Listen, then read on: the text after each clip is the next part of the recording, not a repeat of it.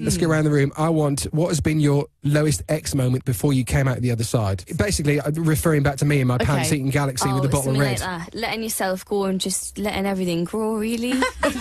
Um, Let yourself go and let it grow. Just uh, embracing the kind of jungle go. vibes for a while until you get back on it. Until you get back on the bandwagon and it all gets ripped off.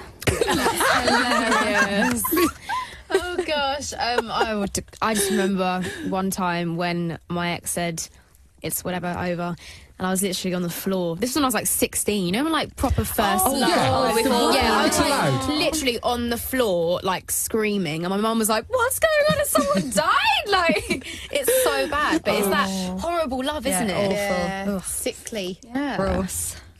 Very. Very. Oh dear. Um, I don't know. I don't know. Well, we've had lots You don't have to single name names, haven't obviously. Yeah.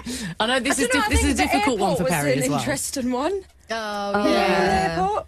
Luckily, I had you guys. nice. I Yes. You can't talk in code. So you, Oh, uh, yeah. sorry. Well, but yeah, I was at the airport. And I got an awful phone call um, from someone. And then um, I just, what did I, I just remember a little mini screaming in the breakdown in airport. the In an airport. airport, you don't do that, do you? And it You was know in the what I mean? security line, so I was thought, oh, God. Yeah, I was like, We're not in here in the country. I is it? literally- We literally just made like a little shell huddle around Shell, threw on some her sunglasses. so that no one Yeah. could see her, and we were like, "It's okay, just let it out." I was like a woman possessed. And then literally, as It comes, it just I builds was up, generally doesn't it? worried. bubbled Yeah. and bubbled, Yeah. and I thought I'm gonna explode. I was worried that you weren't going to be let in the country because they might thought you were like a mad woman. What's happened to her? America, yeah. Oh gosh, yeah. I Take got the passport put back on away. a- Yeah. I was Don't either going her to get put back on a flight back to the UK or put in a straight jacket. Or just find the nearest pub.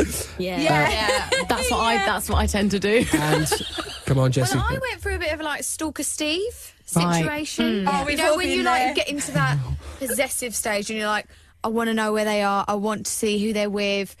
And it just become ridiculous. I was just jumping on buses, trying to find where he Oh, was. Jesy. Wow. And it was a side of myself I'd never known before. Social media can do that to you as well, Oh, though. Things was like when I was Facebook, young, when yeah. they're last on WhatsApp, Yeah, when they're like, do you know what I mean? Oh, but can this turn was that when off. I was a teenager. It was that, like, like Leigh-Anne said, that young, sickly oh, love, your first love, and you just don't know how to handle Yeah. it or deal with Like, it. I want to find them and say, "C- "Can we get back together? It's going to be all right." Like, no, but you're so glad now you didn't. Oh, obviously. Yeah, When you look back at exes and you're like, "Oh, I was with that." Yeah, literally. It's so funny. Oh my god, what? Isn't it? You look back and you think, what the hell was Yeah. I thinking? Yeah. yeah.